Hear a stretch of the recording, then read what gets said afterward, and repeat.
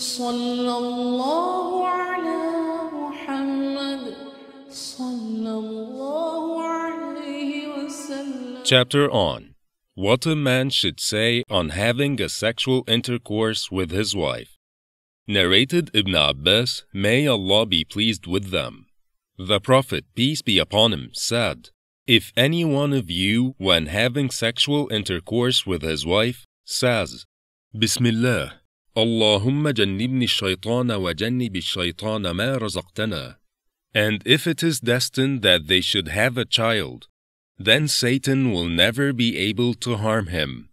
Footnote This invocation in this hadith means, In the name of Allah, O Allah, protect me from Satan and protect from Satan what you bestow upon us, i.e., an offspring.